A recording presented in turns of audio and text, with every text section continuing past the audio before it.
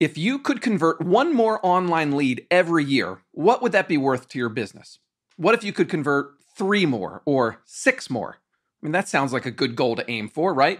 Convert six more online leads in a year. That comes out to one every two months. What would that do for your GCI?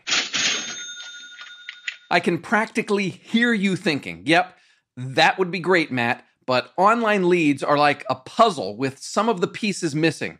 Half the time, they don't respond to my calls or texts. And when they do, they say they already have an agent, or they just wanted to look at the pictures, or they pretend I contacted the wrong person. No! No! No! I get it, you guys. I spent two years as my wife's marketing director, and I experienced all of that.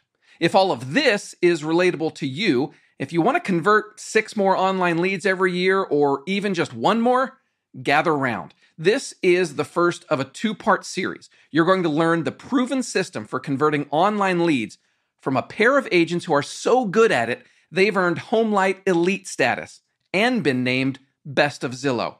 They have all the pieces, they've solved the puzzle, and they're going to show you how you can too. This is the walkthrough.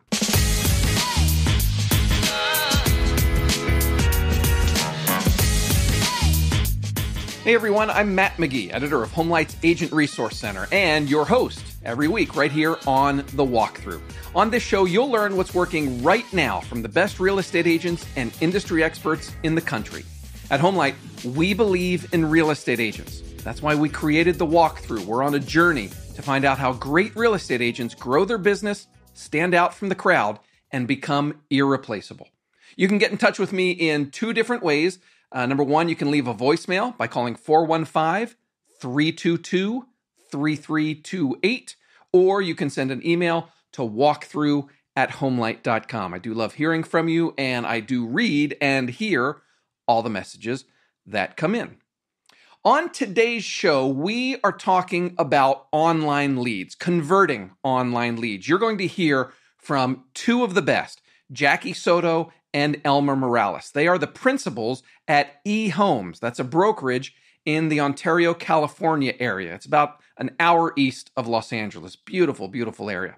Elmer has been licensed for 19 years and Jackie for 11. They formed the eHomes team back in 2014, and then eHomes became its own brokerage at the start of this year, which sounds like a topic that we'll have to talk about on a future episode. So when it comes to online leads, eHomes is different than a lot of agents, teams, and brokerages. In fact, if you listen to the previous two episodes of the walkthrough, both Abby Walters and Rob Henderson mentioned that they tried Zillow and other online lead sources, but decided it wasn't for them. Jackie and Elmer are going in the other direction. They are growing their business with more online leads. They are Homelight Elite agents. That means they're among the top 1% of agents on our platform. They are best of Zillow. They also work online leads from Opendoor, uh, IDX on their website, Facebook ads, 55 places, and several others. You want numbers? Well, in 2019, 38% of eHome's business came from online leads. This year, they expect about 60 to 65% of their business to come from online leads. So, who better to invite onto the walkthrough to give a masterclass in converting online leads? In part one of this two part conversation, listen for Jackie and Elmer to talk about their internal systems and processes. It's the structure that you have to have if you want to convert more online leads.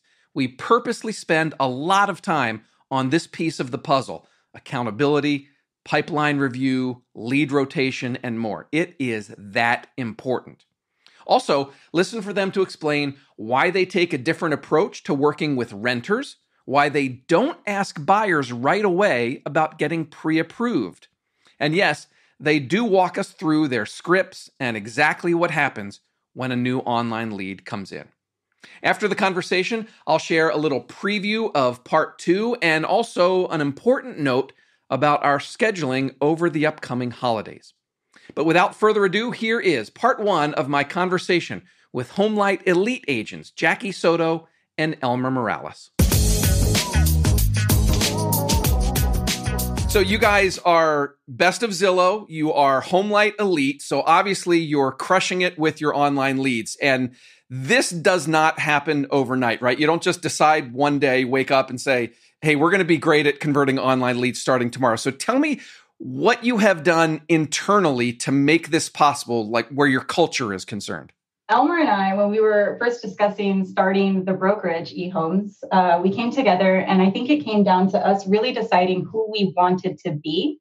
And that came down to our core values. So we knew that we wanted to provide structure, we wanted to provide accountability, and we wanted to be reliable partners to every online account that we had kind of collectively before we actually partnered. Uh, so making sure that we are aligned with the right agents and the right companies to be able to serve both and help both grow, I think was key for us. Setting that setting that in advance, the tone for core values, understanding the core values for our companies that we're partnered with too, to make sure that we're aligned and able to serve them at a high level and grow with them. Matt, it's like Jackie just touched on, accountability is going to be a huge deal. It's something that we push heavily. Uh, even when we're recruiting agents, we're letting them know that unlike maybe other offices that they've been at, uh, accountability is going to be a huge part of the way they do business moving forward. Um, so I think that's the biggest the influence on online leads um, is going to be uh, accountability. And obviously, to make this possible, you also have to have the structure of the brokerage in place. So, what do you have in terms of structuring things with new agents to get them on board quickly? So we have a heavy um, onboarding process. When they come on board, they're made aware of basically every account that is available to them to grow into, or we have experienced agents that come onto the team and they're able to pretty much get on right away once they understand the systems and they understand the expectations um, ahead of time, right? Also, they have the opportunity when you're in a hybrid brokerage like eHomes to be able to grow their own business if they wanted uh, to do personal production. So personal production is huge for some of our agents, but they're able to supplement with this online business. I like to see us kind of as the brokerage for new agents that need to kind of gain those new connections and build trust. And then also for the agents that may be struggling right now. We all know real estate isn't linear. You know, you have ups, you have downs if you're not consistent with your business. So if you were looking for kind of those training wheels to get back up and running, we can supplement that for you. And also, Matt, to dig a little bit deeper into the training, it's before any of the agents take any sort of lead on, uh, we have to make sure that they're scripted, that they're using the scripts that we provide for them. And they're also, um, you know, uh, uh using the CRM that we provide for them. So it's heavy training early on, like the first two to three weeks, to make sure that we're all on the same page and we're all like speaking the same language. In other words, so we have to make sure that their objection handling is up to par as well. And and when and when an, an, agent comes on, whether they are a brand new agent or an experienced agent that's been somewhere else, obviously you are telling them from from day one. Here are our expectations as far as calls that you're going to make, how you're going to handle. Right, there's a whole system in place. From before day one, from day like negative thirty, before they're even hired, like you're not going to be hired if this is not okay ultimately, you know, we want to be surrounded by greatness. We believe that who you surround yourself with is who you're going to become, right? So we don't want to bring on an agent that will likely fail with our systems and procedures here. Um, we have a proven system. We know it's successful. So this is basically how we do it. We're always looking to grow. Um, but right now, this is how we do it. This is what is successful. So we set that ahead of time. When when uh, someone comes in from maybe they've been at a different uh, agency before, what kind of reaction do you get when you start going over all this detail with them? Overwhelmed. like that's the best. That's the best word is overwhelmed. We literally had one agent um, recently, about a week and a half ago. Elmer was discussing procedures, practices that we have here. You know, going above and beyond for the client. Meeting renters. You know, some people won't meet with online leads that are renters. That we do that here. Um, so a lot of people they get overwhelmed. Why do you why do you meet with online renters? It's because they're eventually being they're going to become buyers. So we want to our focus is providing great customer service regardless of what it is that they may need. And that's our ultimate focus as a consumer. It's not necessarily what they're looking for, it's more their consumer experience. And then also to touch on that, a renter, here's the thing with the renter is we don't treat them as a renter, we treat, we treat them as a human being, right? A connection. People, we're saying online leads But truthfully, it's a connection that you wouldn't otherwise have had with a human being that wants to pursue home ownership. Okay, so let's talk about this system, and we, we've sort of built this up already. Um, what all are you tracking? What goals do you give agents uh, for them to, you know, in terms of calls and appointments and all that sort of stuff? Uh, so there's two, right? There's one, there's a set of agents that are onboarding, and then you have this the set of agents that are already onboarded and, and ramped up and running. So our expectations are, for example, uh, with one uh, partner, it's a 90 over a 90% um, appointment set. When you talk to a consumer on the phone, you have to have an over 70% actual uh, person show up for that appointment. And then from there, it's it's it's it's quite a bit of a drop off. You have to be over 30% when we're converting to actually showing homes. And then our goal is to ultimately get to anywhere from eight to 10% to 10% actual um, closing conversion rate. And then also we're tracking that. Um, we track a lot of personal development too, because we want to make sure that we're growing as a team, right? And we're able to find new ways to serve the consumer um, on a higher level. So we track personal development as well. What What are some of the personal development type things that you're looking at? A great a great example. This week we're doing uh, time management. So we noticed that a few agents were overwhelmed with the amount of leads they were receiving and how many times they had to go out to show homes and whatnot. So we got into, onto time management, and we're definitely tracking their calendars at this point. And then also another example was going to be oh our book club. We do a book club that we make sure that we're developing our mindset in regards to connection with the consumer? Yeah, we we we picked up uh, you know like when we get agents that come in from other brokerages, Matt, it for whatever reason there might be a disconnect on you know time with Matt, like Matt Jackie just said with maybe like time time management. You can give somebody leads, but if they have a, if they do a poor job of time management, mm-hmm. then it's going to lead to bad results. Mm-hmm. So we have to oversee their entire business and make sure we're plugging in pieces into um, their uh, the business as a whole and we want to make sure that we're keeping their minds engaged and encouraged because you know in our business it's easy to get discouraged especially when you're working with online leads. You have i assume you have someone in the in the brokerage that is managing all this like sort of tracking you know appointment rate met rate offers the whole nine yards? Yeah we have a whole staff actually in place. It's not just one person that's tracking. Elmer tracks it. I track it. We have um, a database manager who's tracking heavily listening to all of the phone calls making sure there's enthusiasm on the calls. And then one of our main resources for training, that's Frank, who is also heavily involved with tracking and holding the agents accountable. Now, you and you're getting online leads from a number of sources, right? Like obviously, there's HomeLight is one of them, and Zillow, and you know five or six or whatever number others. Is there specific training that Frank and you guys have to do just based on the processes? Like I, the HomeLight process, I would assume is different from the Zillow process, which is going to be different from a Facebook or an IDX lead. So the training has to be customized to some degree. It does, um, and, and, I think it comes down to script more than anything. Uh, but at the end of the day, we treat every single online lead just like we would, uh, you know, eh, from from one partner to the from that gives us 100 leads a month to a partner that gives us two leads a month we treat everybody the same. So a lead is a lead. We treat it exactly. we treat them all. We treat all leads the same. Uh, it's just the script sometimes might change depending on the type of lead that's coming in. But for the most part, our ultimate goal is to set a face-to-face appointment and get the consumer what they inquired on. Also, Matt, um, it's funny that you asked that because it kind of trickles down, right, from the account, um, basically the account that we have, which would be, for example, Zillow uh, right after this call, we have a call with our rep to be able to go over the weekly expectations and where we're at. And then that trickles down into the team. Any new trainings that we feel that we need um, in regards to each different account, we'll meet with them as a leadership team once a month. Uh, you guys do pipeline review on a regular basis? Pipeline review is something that gets addressed actually every week.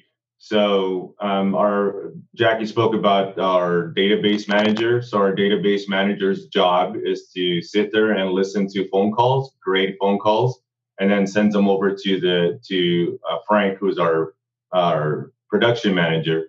He sits with the agent once a week for 30 to 45 minutes. They discuss all the new leads that the buyer that the agent has taken on. They discuss all their old leads, and then they discuss the new phone calls that were listened to and he might address any issues that might have come up or also uh, any wins that might have come up during that phone call. And if in the course of reviewing that with all the agents, if somebody's, you know, not meeting their goals, what what do you do? What happens? Are there additional coaching, additional training? Do they ever get pulled off of the lead flow? Yeah, we we do have to remove them off of lead flow because sometimes they get overwhelmed or things come up. You know, things come up in life where you have to pull somebody off of lead rotation. So the pipeline review is really to tell us a story as a leadership team. So if we see that they're starting to fall behind, we might we might pause them early on um, or if we just get to the pipeline review and we notice that everything's gone to matter and they're really far behind on catching up to tasks due, reminders due, then we'll pull them off a lead rotation uh, because we have to answer to the Zillows of the world, the HomeLight, uh, HomeLights of the world, the Opendoors of the world. So you know they're not really looking to hear hear any sort of excuse. So we have to do a good job of management and make sure that we're addressing that quickly. And at this point, I'd say that these bigger companies, they're shifting. It's no longer you're purchasing for leads. These companies are looking to partner with great agents. So it's really come down to who's servicing at a high level. So it's super important to hold the agents accountable to that. Who's converting at a high level? Yeah, it's a referral base. Everything's turning to referral base. You're not just paying for a lead that you're going to throw away. Hi, everyone. If you're enjoying the walkthrough, we'd appreciate it if you tell the real estate agents in your network about us. Even more, please rate and review us on Apple Podcasts, Spotify, or wherever you listen. Your feedback helps us get better, and in some cases, can also help new listeners find and hear us. And when we get around to having you on the show, the more listeners, the better, right?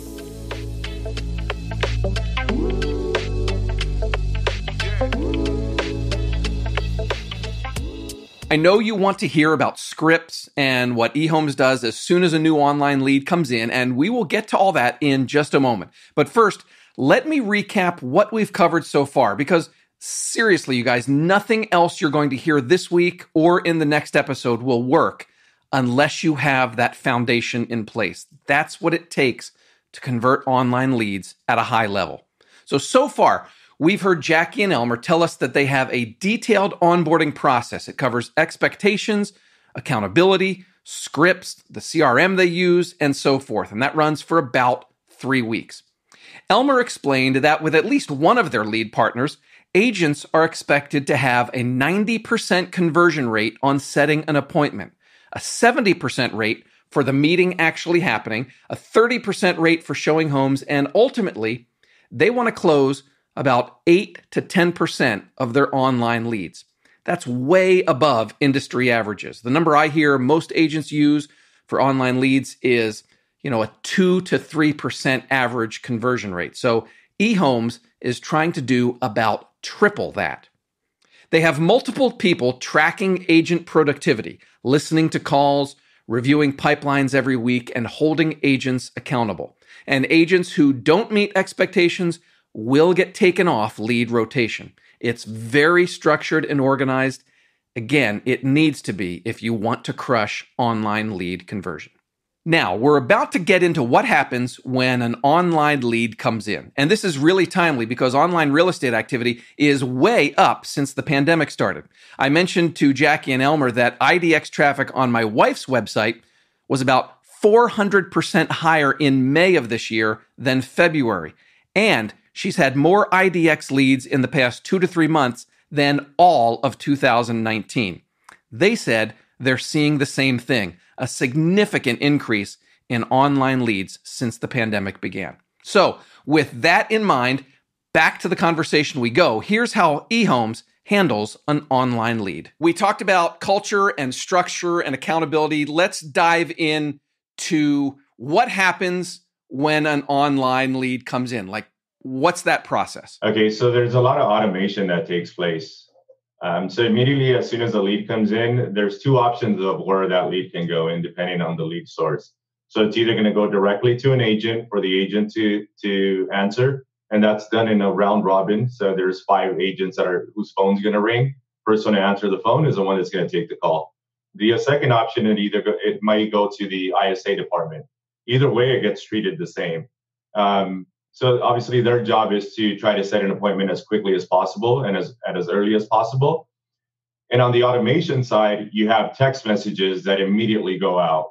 So as soon as the lead comes in, there's an there's an automated text that, text that goes out and it reads something like, "Thank you for contacting Elmer Morales and the eHomes team. Um, we we appreciate your business. Someone will be in contact with you shortly." So it's just kind of a quick intro. We paste the photo of for like HomeLight. We'll paste the photo of the HomeLight profile. Um, so it kind of builds some rapport and and and um, just gives them something to expect. And then we have an email that'll immediately go out as well, similar to the text message, just saying, "Hey, thank you for reaching out to Elmer Morales again," and and um, just so you know, we, we're covering all three uh, types of communication: email, text, and phone call. Go. Uh, it's it's a mix of automation and the human touch taking that phone call in. Yeah, absolutely. Obviously, the phone call is going to be the most effective, then the ultimate goal is to get face to face. So everything that we're doing at the end of the day is to get us face to face, and that's where we're going to be most most effective as salespeople. I was just going to say you'd be surprised how many consumers inquire and forget where they inquire. So that's like a huge Kiwi was saying at the end where he says um, he sends a photo regarding uh, what platform they inquired on, whether it's Zillow or HomeLight. He'll send that type of message, very specific. And, and Matt, I was going to tell you that it, it creates credibility too when you when you send them a photo of you know the maybe the site that they inquired from it creates credibility because if it's a site where they get sent to multiple agents then you want it or, or you know they're being sent to just different types of not just agents but i don't know they're getting spam mail from all over the place right you have to create some sort of credibility when they're when you're reaching out to them the point is like they inquired through HomeLight or they inquired through Zillow. So a lot of times the consumer's expecting Zillow or HomeLight or these bigger companies to call them. They're not expecting Matt or Elmer from eHomes. Elmer, I think you said the goal with this first call is to get the appointment. That's really what you're focused on. Yes, that that's the ultimate goal. Um, we're not like digging too deep into the conversation. Are they are they pre-approved? Uh, do they have a house to sell? Like we we care about all that stuff, but we don't want to find those things out until we're face to face with them. You don't want to have any hard, you don't want to have any difficult conversations with the consumer until you're face to face, because that's when we're most effective.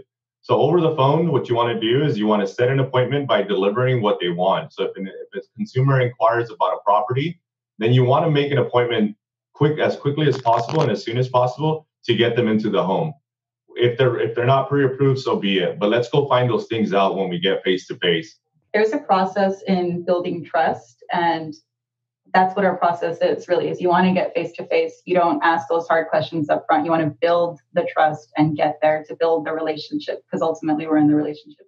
And and then too, Matt, I also always get the question from agents when I go out to talk on panels, and they ask, "Well, Elmer, what are you doing if you're heading out to meet buyers who aren't pre-approved.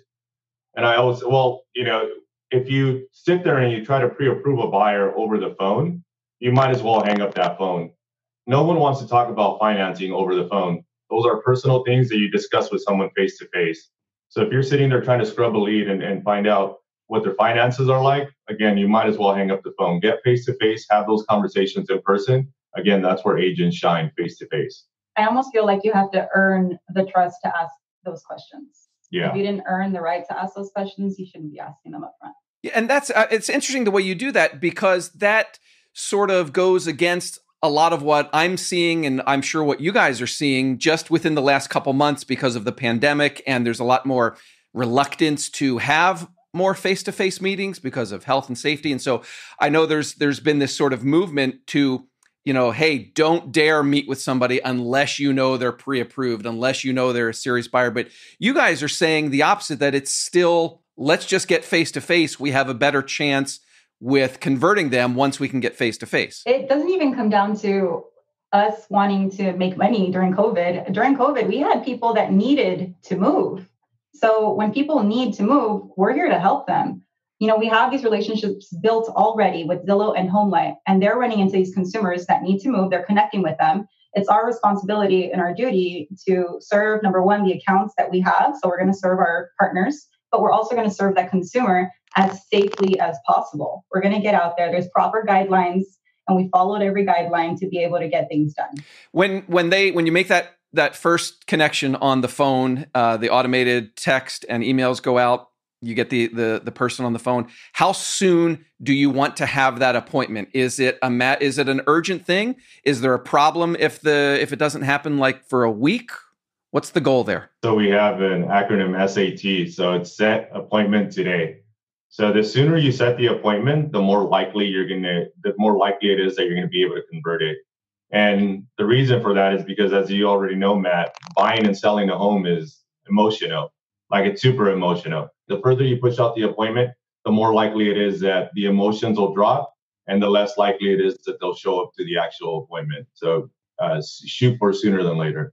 So there's there's there's the, these phrases with with online leads, speed to lead, and you guys are also then speed to appointment. Speed to again, speed to appointment is going to be crucial, and the consumer is always going to push things off to um, you know whatever's convenient for them. But if you don't ask them to move the appointment to sooner, or you don't educate them with the way the market is right now, where homes are selling uh, within a day or two, you have to educate them and let them know, hey, look, this might be gone by next Saturday. Why don't we set that appointment for today after six o'clock? Because I know you get off at five. And if you can't make it, you just let me know, and we'll put, and we'll try to do it again tomorrow. How's that sound? And it usually works out. I was I was just going to ask you like what does a script sound like on that first call, but it sounds you're kind of giving it right there. You're you're you're just you're wanting to get that first appointment right away, and I love the SAT acronym too. Yeah, so we we use the ALM uh, acronym as well, which is appointment, location, motivation. So in every every phone call that we have, and we when we train the agents on this, that's exactly what we're going through. It's appointment first. That's how we open. Jackie actually said she wanted to volunteer to role play a little bit. So, so it, it, it's really simple, uh, Matt. So let's say Matt, you you uh, inquired about one two three Banana Street. So on our on the, the opening line goes exactly like this. Hey Matt, this is Elmer with the eHomes team.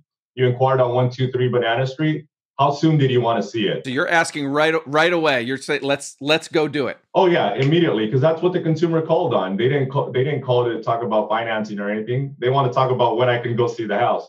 So it's appointment, then it's location. So Matt, what has you moving? What what is it about uh, one two three Banana Street that has you moving to this neighborhood? You'll share that.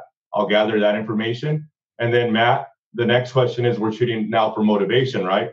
And then Matt, so what has you moving to 123 Banana Street.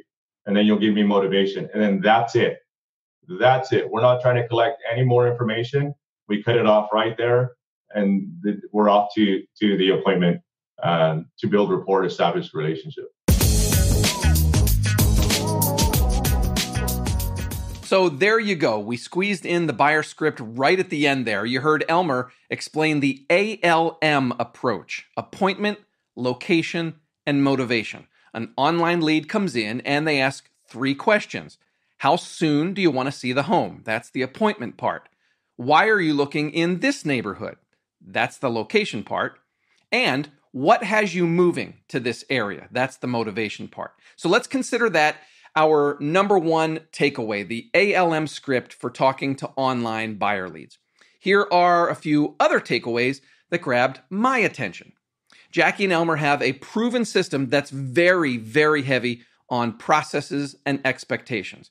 They have accountability built in at every step. Things like listening to agent phone calls and doing regular pipeline reviews. You have to have all that if you want to convert online leads at a high level.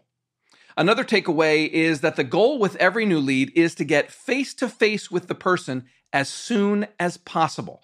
They use the acronym SAT, set appointment today. They expect agents to set appointments with 90% of incoming leads, and the sooner you have that appointment, the better your chance of converting the lead.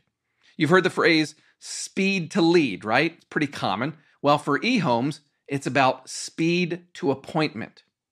And then finally, I thought this was really interesting. They don't talk about financing and pre approval until that first meeting. I know that goes against how a lot of agents are doing things right now, especially during the pandemic, but it is working for Jackie Elmer and eHomes. They said they don't hit the lead with those financing questions on the first call, they wait until the face to face meeting. So, Coming up in part two, we're going to continue with Jackie and Elmer. We're going to talk about nurturing online leads because, you know, not every lead you get is ready to buy or sell right now. So here's a preview of that conversation. It's a proven fact that most consumers use the first agent that they meet. So if we want to go off of statistics, then we want to take our chances and meet with the consumer no matter how far out. And you also have to have confidence in your nurture process that you're going to you know make all the right phone calls you're going to send all the, the right amount of text messages to stay in front of the consumer so when they do decide to make the move that you're the first person that they're going to be calling so that's coming up in part two. And an important programming note we're going to step away for one week. We know a lot of you are taking time off before and or after the july 4th holiday. Some of our HomeLight team is doing the same. So there will be no walkthrough on monday july 6th instead Part two of this conversation will come out the following week, Monday, July 13th. You know, the walkthrough is appointment listening for my wife. So, honey, no show on the 6th. Next one is the 13th. Everyone else, if this is appointment listening for you, and I sure hope it is, please mark your calendars accordingly. Again, no show next week. We're back on Monday, July 13th. Okay, if you have questions for Jackie or Elmer, questions or feedback for me or HomeLight, you can leave me a voicemail anytime. The number is 415 322 3328 or send an email. It's walkthrough at homelight.com. That's all for this week. Thanks so much to Jackie Soto and Elmer Morales for joining us, and thank you for listening. My name is Matt McGee. Remember, at HomeLight, we believe in real estate agents. That's why we created the walkthrough. We're on a journey to find out how great real estate agents grow their business, stand out from the crowd, and become irreplaceable. Go out and safely sell some homes. We'll talk to you again in two weeks with part two on converting online leads. Bye bye.